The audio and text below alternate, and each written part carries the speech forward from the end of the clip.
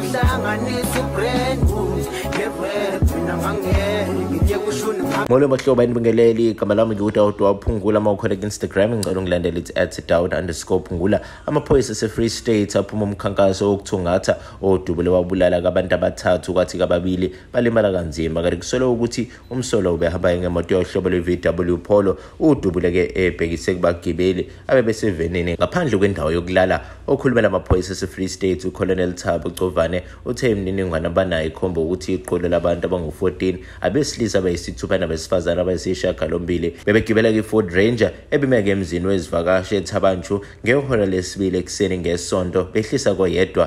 Ngebhadi batholeke isango likhiwa babesebelinda ngaphandle. Ucovani uthena ngesikhathi besalindele ngaphandle kwesango uqhamuka imoto yohlobo laka-volkswagen pol emhlophe yamemva kwe-ford ranger. Kuye kuwaphuma kumliso begqoke isikibha esimhlophe wavulela ngenhlamvu kubantu ekadeke bengemuva kwesikhenke emva kwaloko wabaleka uthena kunogada ushayele kamaphoyisa ucingo-ke laphana yaphuthuma endaweni yesigameko. Enabo uthena-ke uthunyelwa-ke imoto-ke epatrolayo ukuba kizobheka endaweni yesigameko. Yatshelwa ukuthi-ke abalimele baphuthunyiswa esibhedlela sendawo. Ngesikhathi efika esibhedlela bathola besilisa abathathu bedendelizile ngemva kwemoto yohlobo lwe-ford range emhlophe ezingeke izisule ezimbili besezingeniswa esibhedlela. Ucuvani uthe amaphoyisa avula amacala amathathu okubulala namabili okuzama ukubulala kanti bonke abashonile baneminyaka ephakathi kuka-18 no-23 futhi kuqoqwe inqwaba yamagombolondo e-9 mm njengobufakazi endaweni yesigameko. Imbangela lokudubula ibingakaziwa. Mina ngana kwethu ngizofisa ukwazi ukuthi lithini uvu lwakho lapha kwi-comment section.